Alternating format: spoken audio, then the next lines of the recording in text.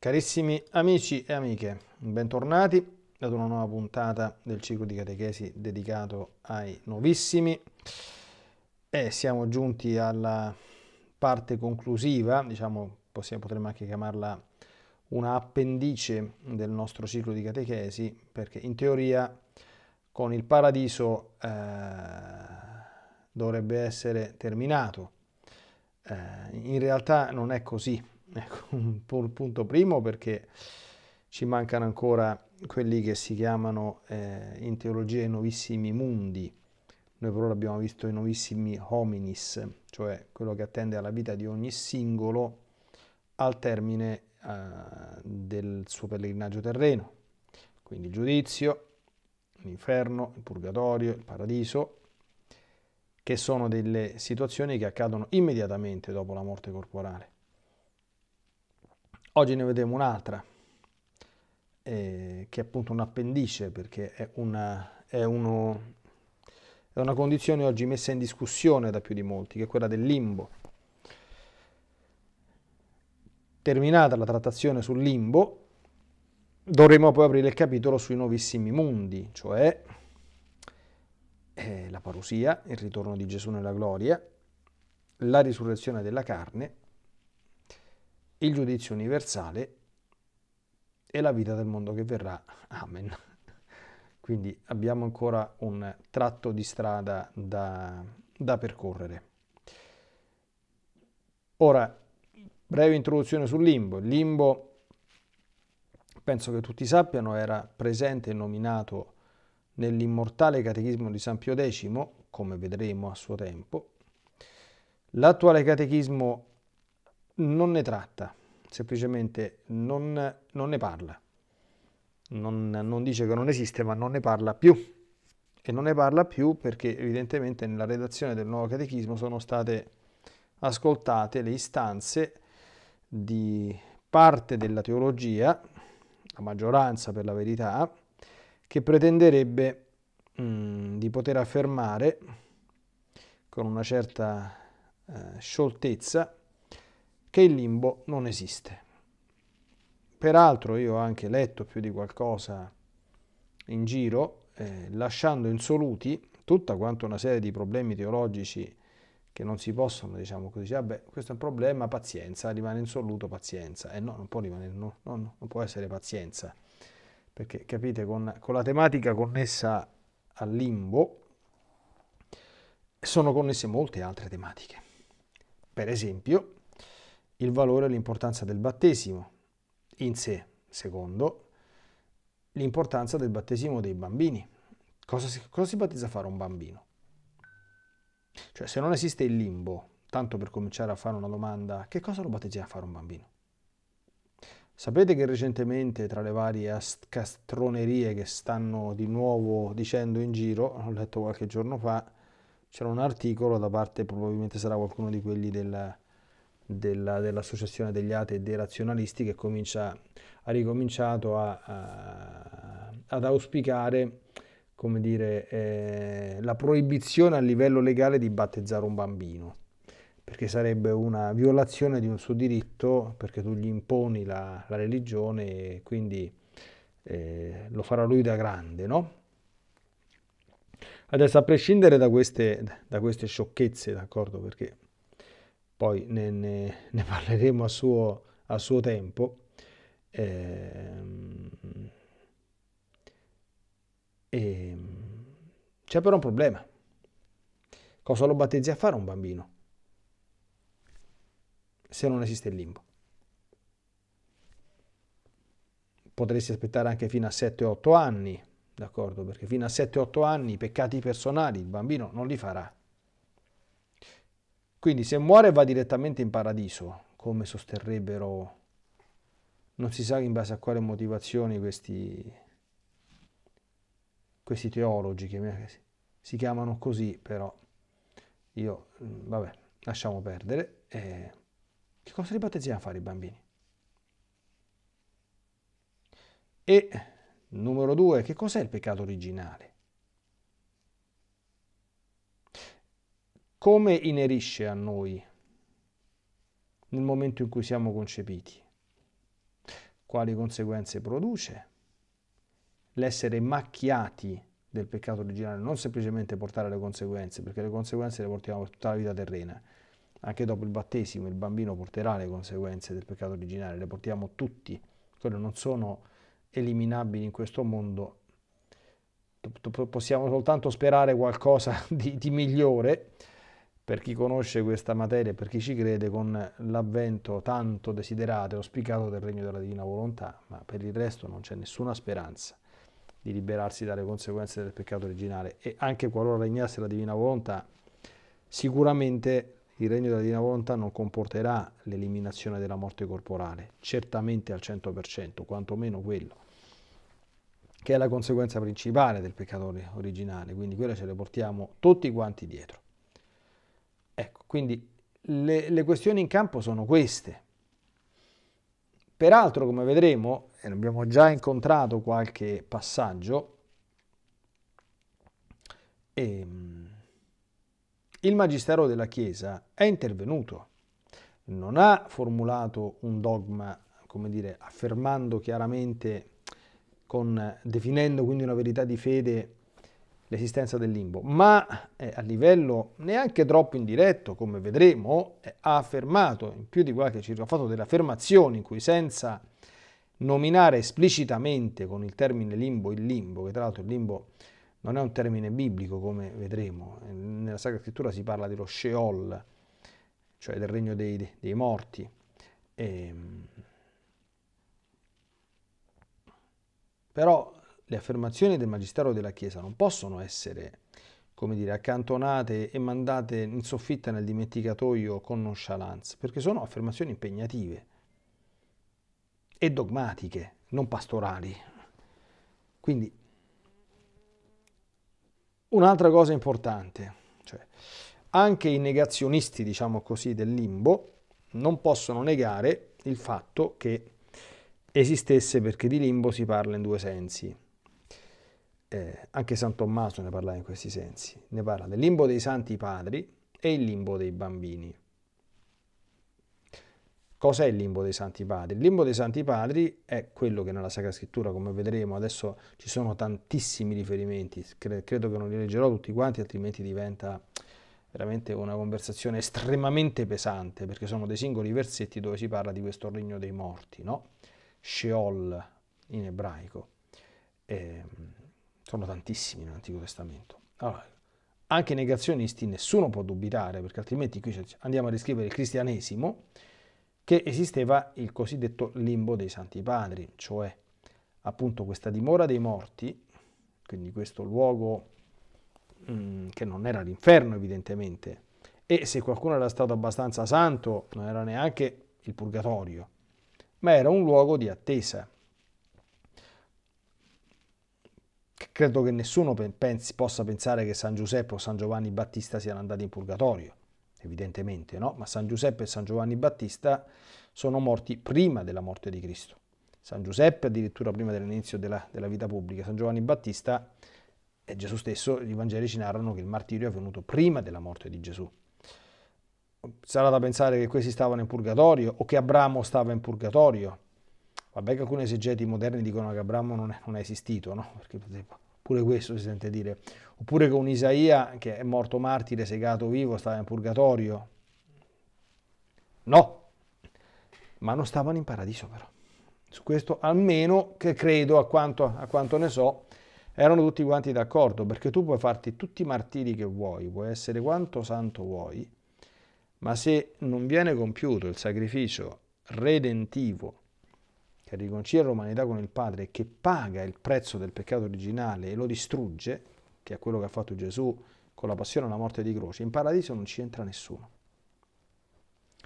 Questo mettiamocelo sempre bene in testa, perché noi, nostro Signore Gesù Cristo, e perdonatemi, non è che dobbiamo soltanto adorarlo, lo dobbiamo evidentemente adorare, ma ci si dovrebbe seccare la lingua, perdonatemi, a ringraziarlo, perché se non avesse fatto quello che ha fatto, amici cari, io oggi non stavo qui, ma questo il che sarebbe poco danno, insomma, che io, non, che io non stia qui pazienza, insomma, non se ne importa. Il problema è che In paradiso non c'entrava nessuno, manco San Giuseppe, manco San Giovanni Battista, manco Abramo, manco Isaia. D'accordo? Neanche tutti quanti i santi e martiri eh, venuti dopo, dopo nostro Signore. Nessuno. Non c'era speranza, non c'era chance. Per chi le conosce c'è una bellissima ora della passione, delle 24 ore della passione, che sono veramente un, una raccolta dorata, la diciassettesima ora, quindi quando eh, volete Gesù e Barabba, la condanna a morte di Gesù, no? E che cosa facciamo con, con Gesù? I giudei dicono sia crocifisso, eh, ma c'è un passaggio che è veramente commovente e drammatico. Il padre fa eco a, quella, a quel grido blasfemo perché dalla parte di chi voleva la morte di Gesù non era un desiderio che morisse per la loro redenzione, era una, una voglia di, di, di levarlo di, di, mezzo, insomma, no? Ma il padre dice ti voglio morto e morto crocifisso. La Madonna, la Madonna, la Madonna. Figlio ti voglio morto e morto crocifisso. Tutti gli angeli e i santi, tutti morti lo vogliono a Gesù. E a un certo punto l'autrice, la serva di Dio Luisa Piccarreta dice mi tocca dirlo pure a me che ti voglio morto e morto crocifisso fammi morire lo devo dire per forza voi pensate in che tragedia che, che, che ci troviamo no? Pregare intensamente quest'ora della passione c'è stata piangersi tutte quante le lacrime possibili e immaginabili cioè colui che ci ama immensamente colui che è la bellezza stessa, la bontà stessa, l'amore stesso, io devo chiedergli, devo supplicarlo di farsi ammazzare in quel modo orrendo perché non c'è altro modo per andare in cielo. È una tragedia. Pensiamoci bene, pensiamoci. Ecco, quindi chi nega il limbo, tra le altre cose, credo che sminuisca anche non di poco il valore del sacrificio di nostro Signore. Evidentemente spero che non se ne renda conto o evidentemente è, dire, è un danno collaterale, come li chiamano oggi, insomma, no? Però dici, ma c'è la misericordia di Dio, che cosa ha fatto un povero ragazzino? Ma certo che c'è la misericordia di Dio. Figura, se non, c'era la misericordia di Dio stavamo tutti all'inferno, stavamo, eh, ripeto, io, io per primo, ok? Tutti all'inferno. Ma la misericordia di Dio ha delle modalità di funzionamento. Non è che funziona così, cioè, cioè, ma proviamo a essere un attimo inte- intelligenti, no? perché la fede eh, chiama l'intelligenza, la, la, la vera teologia è l'intelligenza della fede. I teologi, il primo grande teologo, il primo che, che meritò l'appellativo di teologo, San Giovanni, il teologo, il Vangelo di San Giovanni, cioè, certo che c'è la misericordia di Dio, ma non è che Dio si è avviato una mattina, ma, scusate, ma non avrebbe potuto farlo? Come dire, bisogna fare per forza questa carneficina del figlio di Dio fatto uomo? Poteva fare diversamente, no? Dice, va bene, faccio misericordia, punto e basta. Potrebbe fare anche misericordia anche a chi non si pente, come vorrebbe qualcuno. Allora, in teoria Dio fa quello che vuole, d'accordo? E non deve rendere conto di quello che fa. Ma come spiega San Tommaso, molto bene, se Dio fa una cosa e sceglie una cosa tra le infinite possibili, quello che è successo con l'opera di nostro Signore Gesù Cristo è la cosa più perfetta, più conveniente e più giusta che si doveva fare per compiere un'umana redenzione. E siccome noi stiamo parlando non di Pinco Pallino, ma del Padre Eterno, cioè Dio, Dio, l'essere perfettissimo, l'essere perfettissimo, il creatore e Signore del cielo e della terra, non fa se non cose perfettissime. Dice, ma no, ce ne sarebbe una perfetta, non perfettissima, non la fa. Lui fa solo cose perfettissime.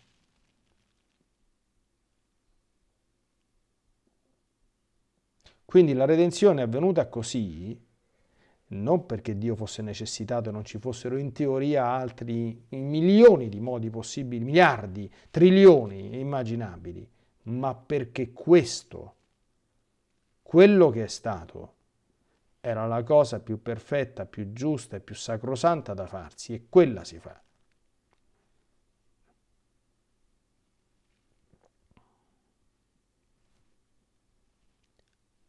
D'accordo? Quindi era necessario fare un pochino questa introduzione, mi dispiace se mi sono dilungato o se ho magari un po' tediato gli ascoltatori, però prima di entrare nell'argomento dobbiamo focalizzarlo e dobbiamo anche vedere, tra virgolette, mi si perdoni, la posta in gioco.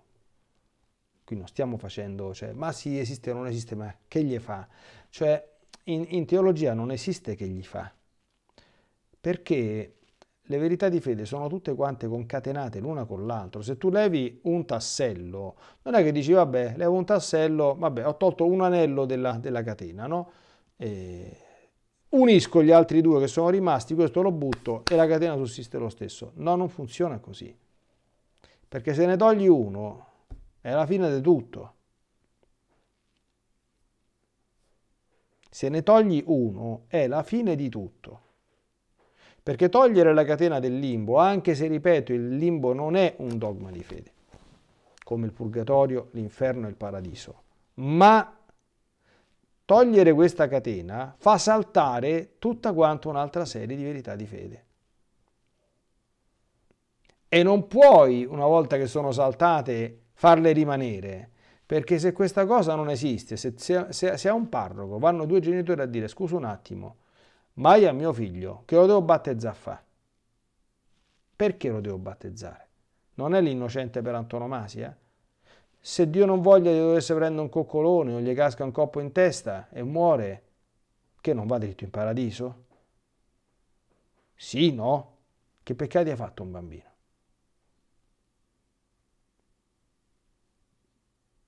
E allora mi spieghi, parroco, perché lo devo battezzare, sto, sto, sto ragazzino? Aspettiamo un po' con calma, no? Giusto? O no? E quindi la prassi che ci sta adesso in giro di battezzare i ragazzini a 3, 4, 5, 6, 7, 8, 10, 12 mesi, nessun problema, giusto? Tanto che fretta c'è. Tanto cioè, oppure qualcuno che magari intende il sacramento del battesimo come una cosa fatta tanto per vabbè, facciamolo, siamo, siamo in Italia. È un'altra delle tante scuse perché purtroppo molte volte questa è una cosa molto triste, mi dispiace dirla, però voglio sperare che non sia proprio così o che non sia così nella maggior parte dei casi, però sapete quando, quando si parla di speranza c'è, una versione positiva nel parlare comune ovviamente, non del tutto erogare della speranza e una negativa, no? Cioè, la speranza è l'ultima a morire, è la versione positiva, ma chi di speranza vive, disperato muore, è la versione negativa. Non vorrei che fosse la seconda, ma molte volte, spesso e volentieri, ciò che ha a che fare oggi con la fede diventa un'occasione per fare baldorie. Vogliamo le prove? Battesimo, pranzo. Comunione, baldoria. Cresima, baldora, baldoria. Matrimonio, se quando c'è tanta gente cioè adesso vanno, convivono, fanno, dico, ma dopo, tanto dopo ci, ci sposiamo, è che non abbiamo ancora i soldi. E non abbiamo ancora i soldi. E, dico, e allora? I soldi? A che servono i soldi? Tu pensa che il matrimonio si può celebrare pure in sacrestia. Basta, basta, basta che fai il corso prematrimoniale. Te lo faccio pure io in 10 lezioni, c'è nessun problema. Fai la pratica, te la faccio io, e ti porti quattro testimoni. Fatto il matrimonio. Che problema c'è? Non c'hai i soldi. E che fa pazienza? Che è, che è indispensabile fare la festa nuziale? È meglio fare la festa nuziale oppure è meglio andare a fare un autotreno di peccati mortali e di pubblici scandali, perché quello è la pubblica convivenza, è un pubblico scandalo, anche se oggi apri di cielo, ma è così, era, è e sempre resterà così. Quindi matrimonio, Natale, vogliamo parlare di, di Natale? Una scusa per fare baldoria, no? Pasqua, peggio ancora. Quindi, allora dobbiamo, dobbiamo fare attenzione a tutte quante queste cose, perché evidentemente le cose non stanno così, non stanno così. Allora, andiamo a vedere, a cominciare questa analisi di questo limbo. Allora, nell'Antico Testamento ci sono ben 65 ricorrenze, per questo che dico, non andiamo a vedere tutti perché sennò veramente diventa, diventa complicato, no? diventa molto complicato, però qualcuna magari la, la, la possiamo vedere tanto per renderci conto. No? Il termine Sheol, Sheol è la dimora dei morti, ce ne abbiamo 65 nell'Antico Testamento e due, una delle quali molto significative, perché, perché viene, da, da, quella viene tratta l'articolo di fede del simbolo apostolico, non del simbolo di Nicea Costantinopoli, ci trova soltanto il simbolo apostolico, discese agli inferi, perché Sheol si traduce anche con inferi. Attenzione che inferi non è l'inferno, anche se a volte queste due cose sono trattate, specialmente nel linguaggio arcaico, come sinonimiche. Sinonimiche vuol dire che significano la stessa cosa. E gli inferi è la dimora dei morti, l'inferno è la dimora dei morti dannati, è un'altra cosa. Allora, ci sono 65 ricorrenze nell'Antico Testamento. Facciamo così, ne vediamo qualcuna in giro, cominciando dal libro della Genesi. Per esempio, tra le tante abbiamo Genesi, per esempio 37-35, che è la prima ricorrenza dell'Antico Testamento. Stiamo eh, nel contesto eh, di, di, di, Giacobbe, della storia di, di di Giacobbe. E Giacobbe praticamente eh, teme che suo figlio Giuseppe sia morto. Sapete che Giuseppe non, non era morto, ma era stato venduto in, in Egitto, no? Giuseppe e Giacobbe si stracciò le vesti, si pose una tela di sacco attorno ai fianchi e fece lutto sul suo figlio per molti giorni. Tutti i figli e le figlie vennero a consolarlo, ma egli non volle essere consolato dicendo no, io scenderò in lutto da mio figlio negli inferi e il padre suo lo pianse.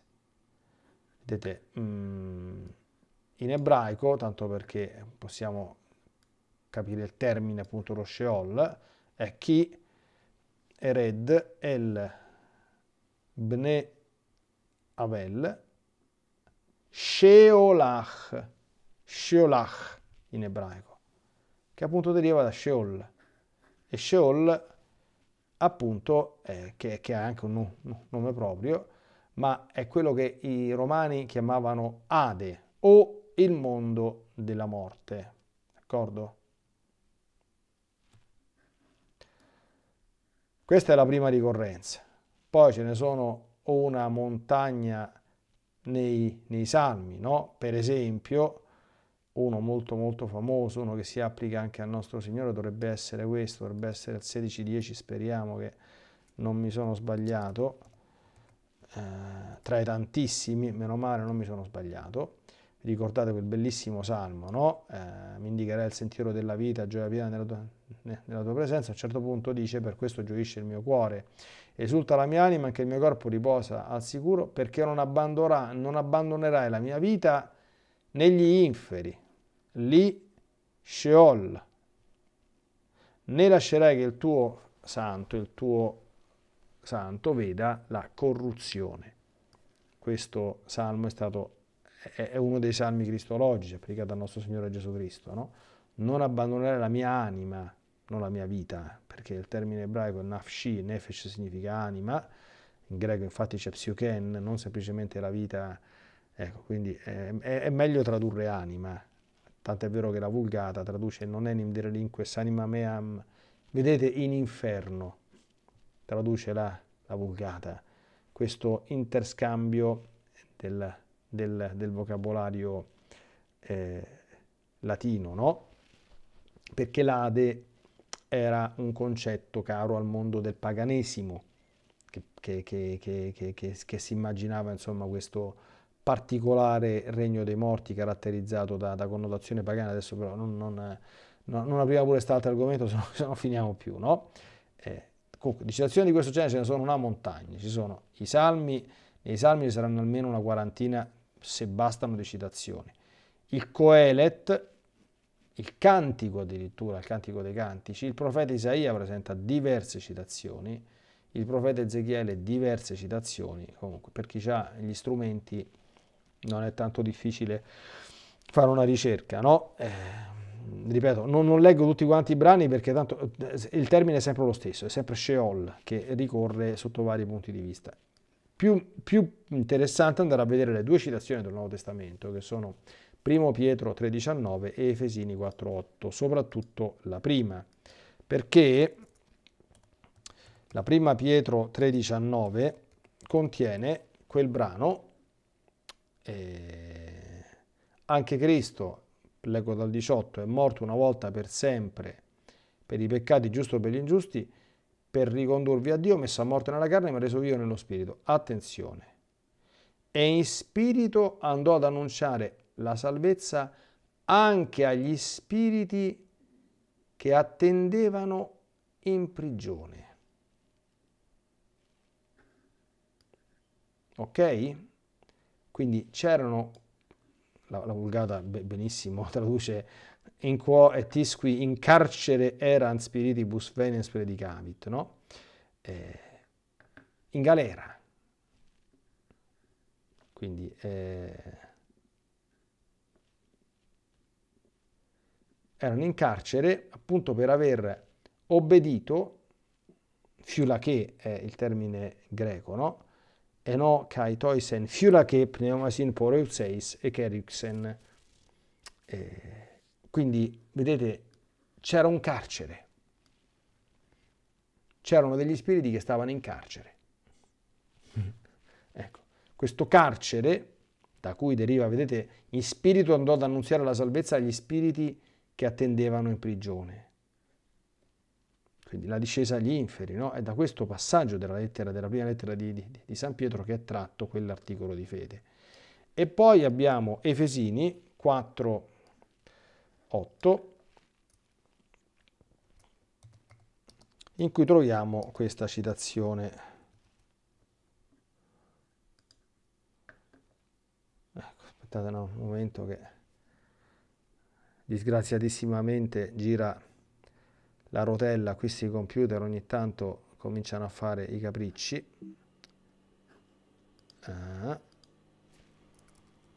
Solo un istante, abbiate un attimo pazienza. Ah.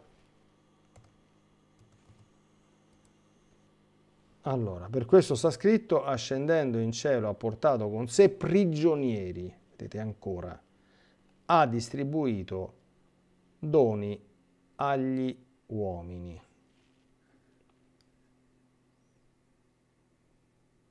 Quindi c'erano dei prigionieri. D'accordo? Che il Signore si è portato con sé in cielo al momento dell'ascensione. Ecco, quindi questi sono gli antefatti. Però, come accennavo, il limbo, cioè tutte quante queste cose, dice va bene, questo certamente esiste, ma questo è il limbo dei Santi Padri. Nessuno ha mai negato che esistesse un luogo di questo genere. Adesso non so, adesso è, un pochino di tempo che non sono aggiornato con, ultime, con, gli ultimi ritrovati della teologia. Non vorrei che nel, frattempo, insomma, io sono un po', ho gli studi ormai datati a circa una ventina d'anni, una ventina d'anni sono un'eternità per, per, per adesso, no? Perché il dottorato l'ho fatto nel 2005, credo, quindi sono passati quasi, quasi 20 anni, quindi non vorrei che qualcuno si, si sia azzardato a negare pure il limbo dei santi padri. Spero di no, spero, no? Però dice quell'altro no. Allora adesso a questo punto, fatta questa rapida rassegna, bisogna cominciare, Denzinger alla mano, ad andare a vedere o a rivedere alcuni passaggi fondamentali che abbiamo già incontrato. E uno nel Concilio di Lyon, l'altro nel Concilio di Firenze, ormai siamo già... Eh, uno era la lettera di Giovanni XXII, l'altro era una Costituzione di Pio VI, ma il primo passaggio è del grande Papa Innocenzo III. Sapete che Papa Innocenzo III era il Papa contemporaneo di San Francesco, fu quello dinanzi a cui San Francesco fece eh, l'anticamera, quindi sostando davanti al, a San Giovanni il Laterano, allora non era ancora il, il, il Vaticano, la sede del, Papa, a supplicare che gli approvasse la regola, no? e poi fu Innocenzo III ad approvare appunto la famosa regola bollata dei frati minori, no? che era andato dal Papa a chiedergli il permesso di poter vivere il Vangelo. Cioè, capite? Cioè, bisogna andare dal Papa a chiedere il permesso di vivere il Vangelo. Vabbè, comunque. Allora, Innocenzo III, negli, er, nella um, lettera a Imberto di Hall, che si trova nel Denzinger nel numero 780, parla dell'effetto eh, del battesimo. È un passaggio molto molto eh, interessante e io lo leggerei tutto, d'accordo? Anche se evidentemente il passaggio che interessa a noi è abbastanza circoscritto, però il grande Papa ci fa una bella rassegna sulla dottrina cattolica eh, eh, del battesimo, guardate è molto lunga questa qui, eh? quindi eh, andiamo a dargli un'occhiata. Allora, affermano infatti che il battesimo viene inutilmente conferito ai bambini piccoli. Siamo nel 1201, eh? quindi eh, già allora ogni tanto qualche, perdonatemi, cornacchietta alzava la voce a dire che li battezziamo a fare i bambini. Ma guarda un po' che fastidio che dà questa cosa, no? Noi rispondiamo che il battesimo è subentrato al posto della circoncisione. Oh, attenzione, eh, cosa eh, rimando anche alle catechesi fatte l'anno scorso sul peccato originale. Il battesimo è subentrato alla circoncisione, che veniva fatta, guarda un po', dopo otto giorni, non dopo 50 anni, eh, dopo otto giorni. L'ottavo giorno veniva fatta la circoncisione, guarda caso e nel catechismo dell'esempio decimo battezzare i bambini il più presto possibile, non oltre il decimo giorno di vita. Tanto per rinfrescare un pochino la, la memoria, no?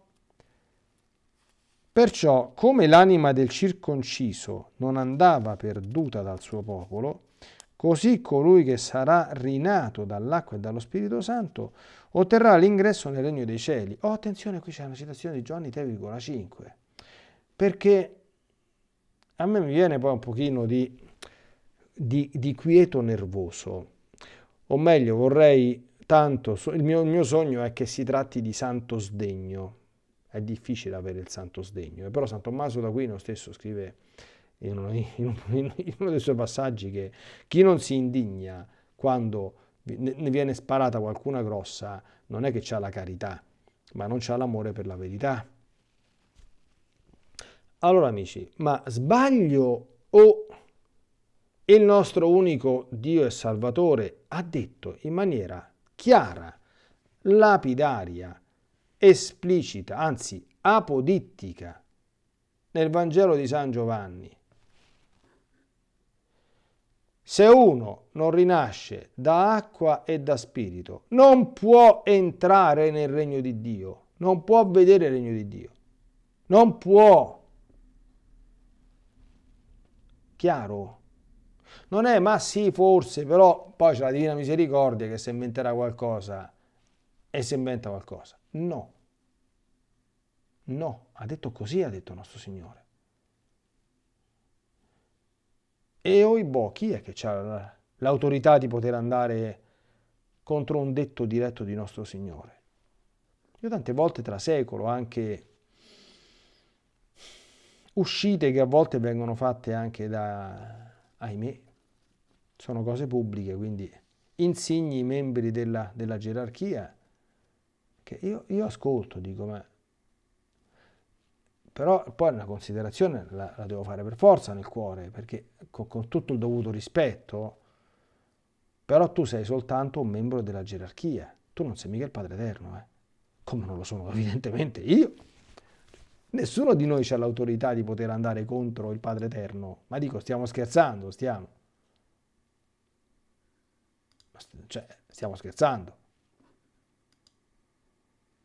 E qui subito subito il successore di Pietro dice colui che sarà allineato dall'acqua e dallo Spirito Santo, colui che sarà allineato dall'acqua e dallo Spirito Santo otterrà l'ingresso nel regno dei cieli.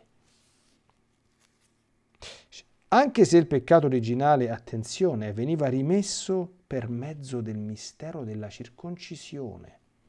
Sappiamo bene che cos'è la circoncisione, no?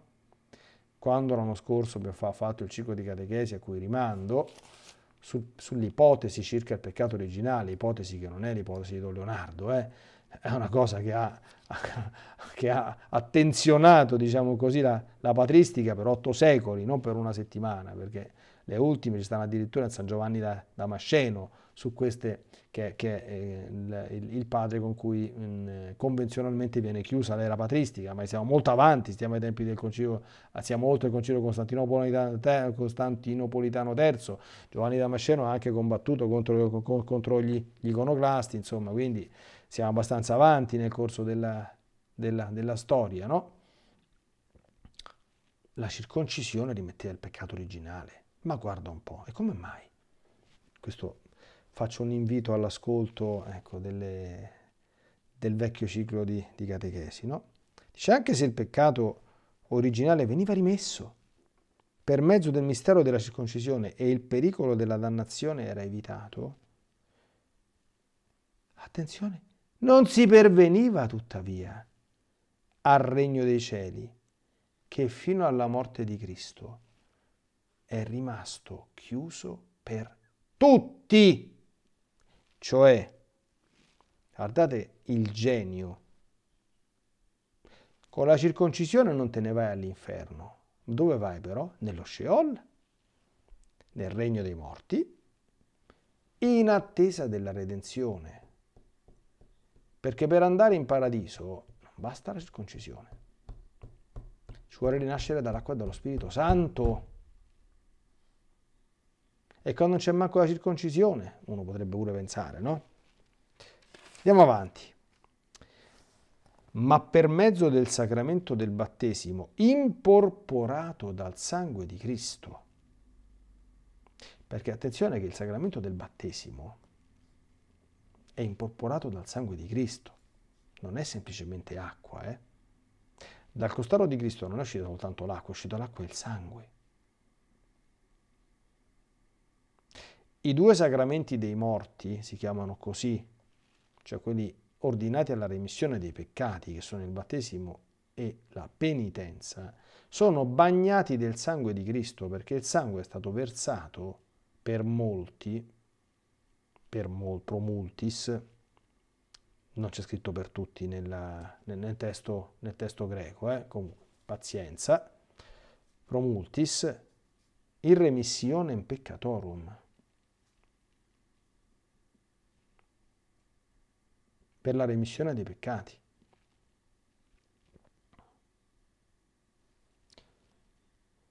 Per mezzo del sacramento del battesimo, imporporato del sangue di Cristo, è rimesso il peccato e si perviene pure al regno dei cieli, la cui porta il sangue di Cristo ha misericordiosamente aperto per coloro che credono in Lui. Ah, hai visto come funziona la, la misericordia?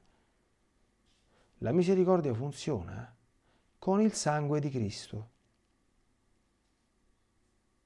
Per cui se tu non sei imporporato dal sangue di Cristo, la misericordia non funziona. Non l'ho deciso io, né l'ha deciso nessun altro, l'ha deciso Domini Dio. E contro questo non è che c'è qualcuno che può andare contro o che può inventarsi dottrine alternative.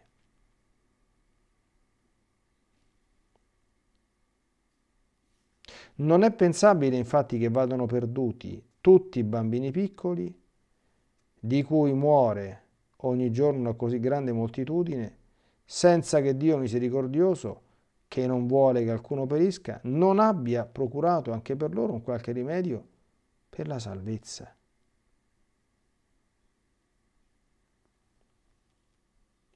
Qual è il rimedio? Il battesimo. il discorso di Innocenzo III in questa lettera è una apologia a favore del battesimo dei bambini. E che cosa sta dicendo? Muoiono i bambini piccoli? Mica nostro Signore potrà permettere che questi vadano in qualche modo perduti o quantomeno non arrivino in cielo. Ci ha pensato e come? Bisogna battezzarli.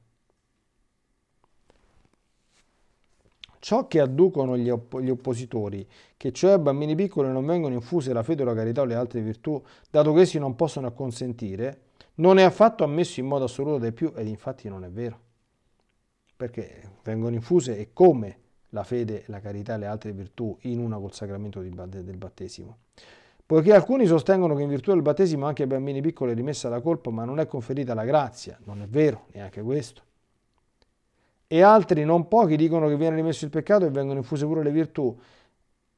A questi che le possiedono così come ambito, non invece ancora nel loro esercizio esatto finché non giungano all'età adulta. E questa è la posizione corretta.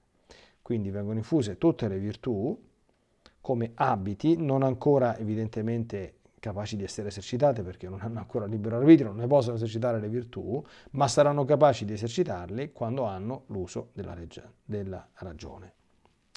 Noi diciamo operando una distinzione, attenzione, questo è il passaggio che ci interessa, che vi è un duplice peccato, quello originale, cioè, e quello attuale.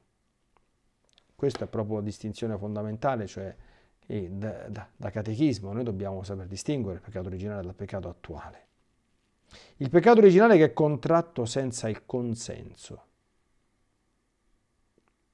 perché è trasmesso nell'atto del concepimento. Peccato trasmesso ma non commesso, si dice tecnicamente. E quello attuale che è commesso in virtù del consenso. Quello attuale, attuale significa commesso attraverso un atto, un atto consapevole e volontario. Questo è il peccato che commette un uomo che ha l'uso della ragione. Il peccato originale quindi che è contratto senza il consenso, senza il consenso è rimorso in forza del sacramento a questi scienziatoni che non vogliono battezzare i bambini. Che colpa c'ha il ragazzino che, che nasce col peccato originale? Nessuno. Ha consentito? No. Però si trova nei guai. Quindi acconsente al sacramento del battesimo? No. Ma è l'unico modo per toglierlo dai guai? Guardate l'intelligenza, cioè guardate in questo santo Papa, non, proprio la luce della fede che splende, anche la, la, la genialità dei ragionamenti teologici, teologici che fa. No? Il peccato originale viene trasmesso senza il consenso e quindi senza il consenso è rimosso in forza del sacramento, mentre quello attuale che è contratto in virtù del consenso non viene affatto sciolto senza, senza il consenso. Tu ti devi confessare. Confessarti è un atto volontario. E devi chiamarlo per nome e cognome il peccato e devi essere pure pentito. Se no quel peccato non ti viene rimesso.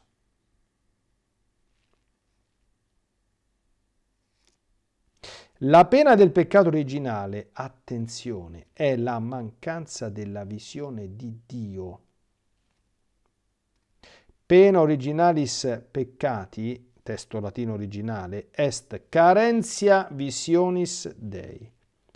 Mentre la pena del peccato attuale, qui quando si parla di peccato attuale non si parla del peccatuccio di gola, cioè si parla del peccato attuale in senso forte, quindi il peccato mortale, il peccato grave, è il tormento dell'inferno eterno. Actualis vero pena peccati est genne, genne perpetue cruciatus.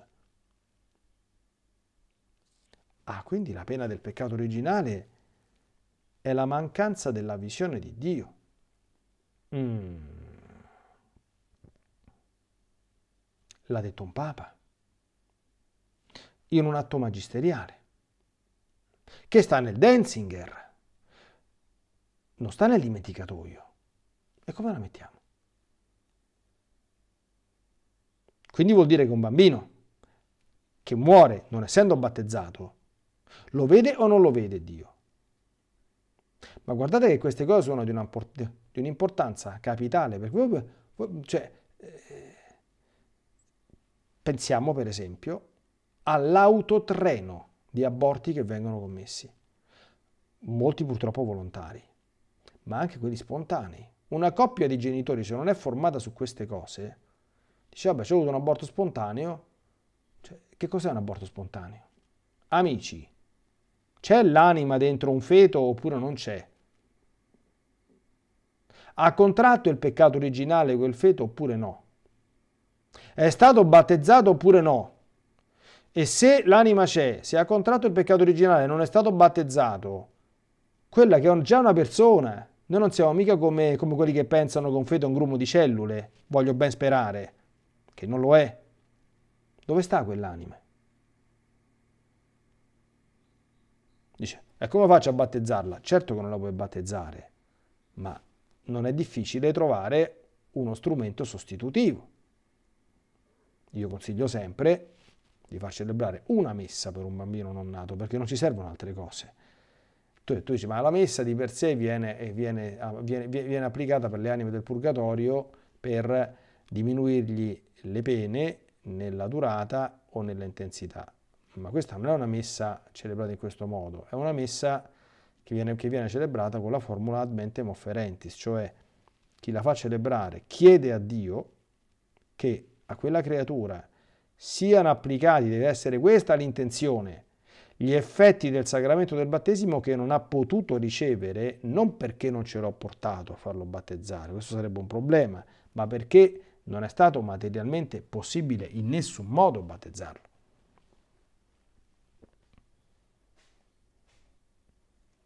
E che Dio assecondi questa richiesta, non c'è nessun dubbio, dice, ma perché la asseconda? Attenzione, perché fare una cosa di questo genere riafferma la necessità della rinascita dall'acqua e dallo spirito, perché tu devi fare un atto positivo di volontà, tra l'altro attraverso un ministro, quindi attraverso l'offerta di una messa, che attesti davanti a Dio. Tu stai chiedendo a Dio, guarda che se questo non gli arriva nel sacramento del, del, del battesimo, questo poverino, senza colpa sua, eh, sarà, eh, sarà, privato a tempo indeterminato, non per tutta l'eternità come vedremo, ma a tempo indeterminato della visione beatifica. Ma perché? Però perché è rinato dall'acqua e da, da, dallo Spirito.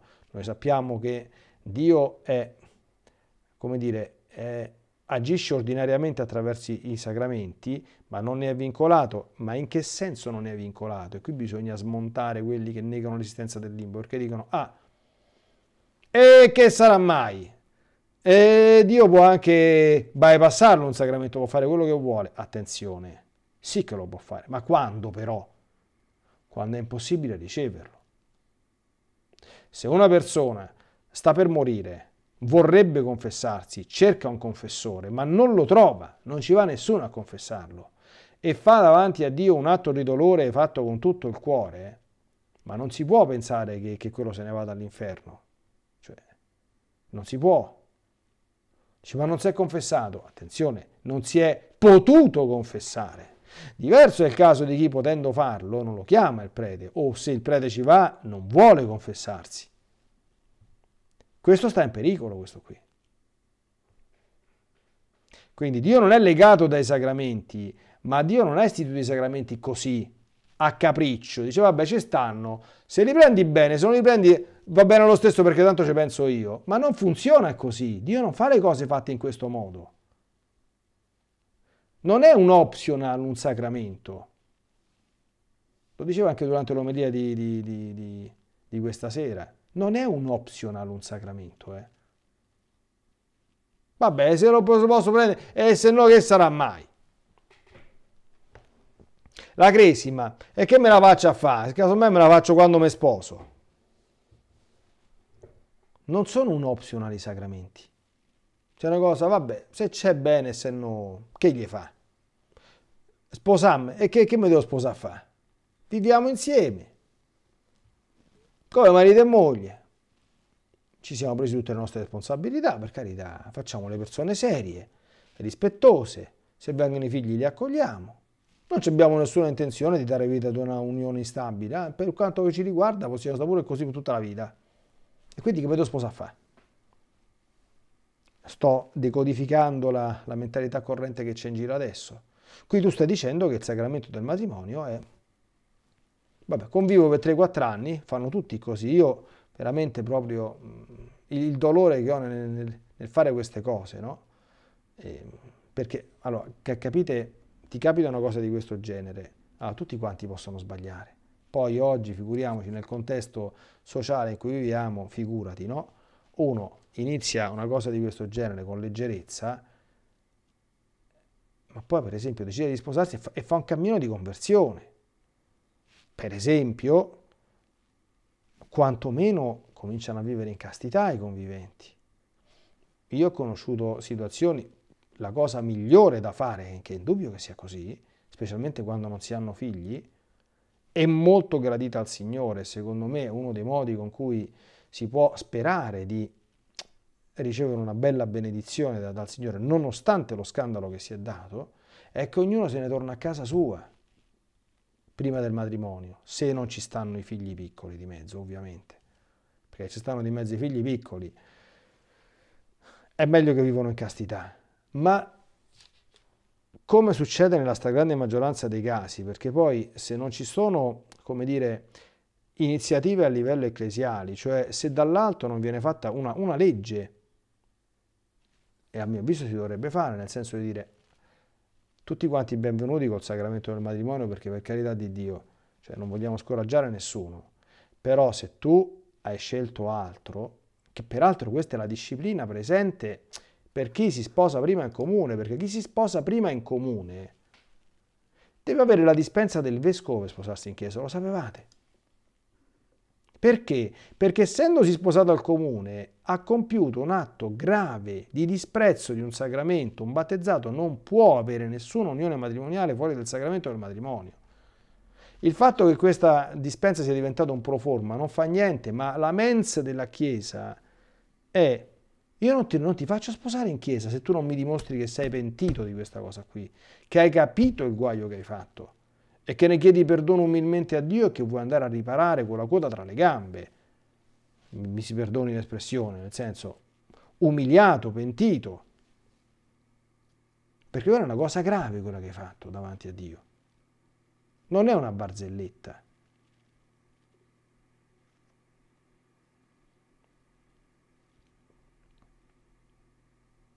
Questo per dire, no?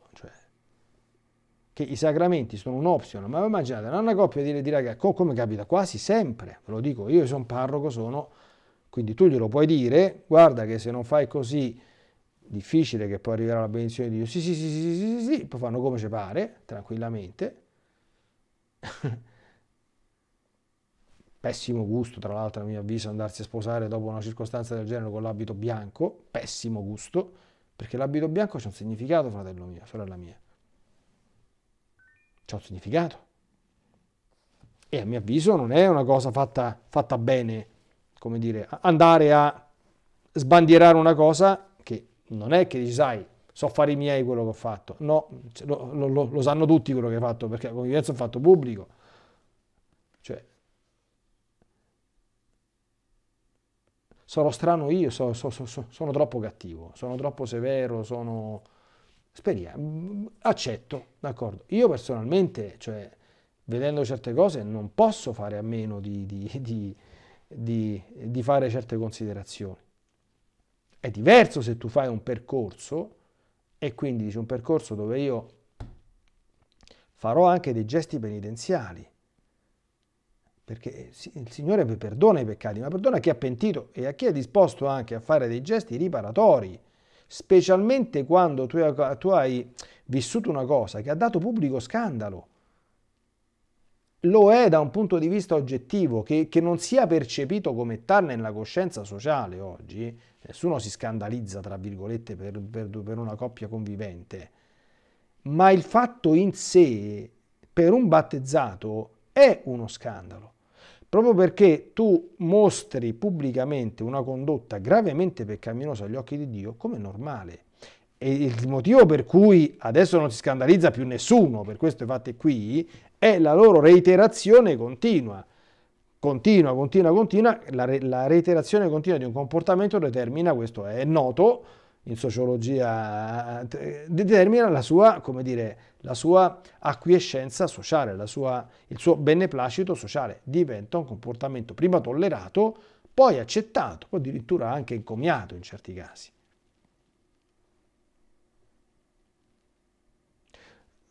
Questa rassegna, tanto oggi non andiamo oltre Innocenzo III perché eh, basta così, per far comprendere la mentalità che oggi gira. Cioè la mentalità che oggi gira è che i sacramenti è, è, come se non ci fossero. D'accordo? Cioè sono ne, ne, nella migliore delle, de, delle, delle, ipotesi. Una cosa che uno fa per tradizione, cioè vabbè, abbiamo convissuto un po' di anni, vabbè, vogliamo fare una bella festa, vabbè, sposiamoci. Ma che te... Ma così.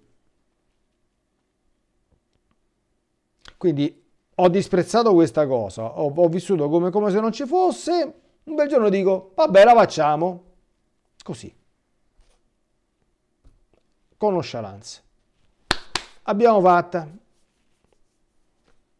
Ma capito? Cioè,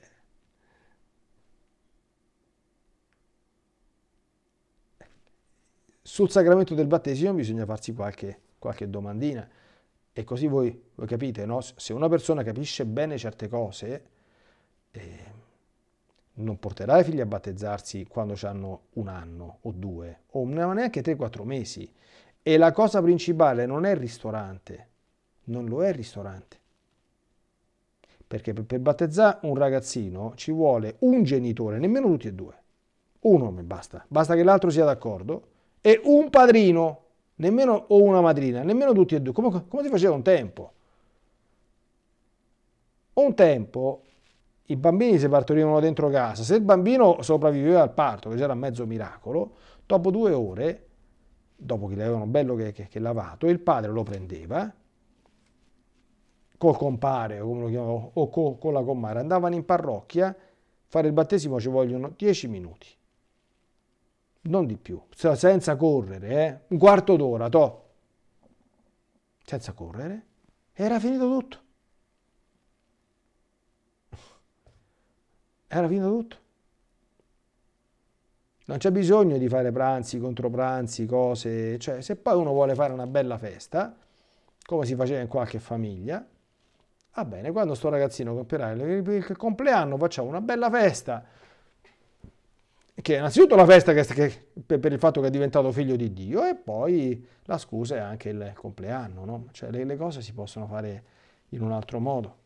Quindi fermiamoci così oggi e cominciamo un attimo, spero che eh, questa puntata, diciamo così, di questo ciclo di catechesi voglia sia anche uno stimolo, perché io credo che questo sia importante anche nel ministero di un sacerdote, non semplicemente dire le cose come, come stanno, ma anche stimolare una, una riflessione, cioè comprendere anche la coerenza ferrea che al loro interno hanno le verità di fede in cui crediamo.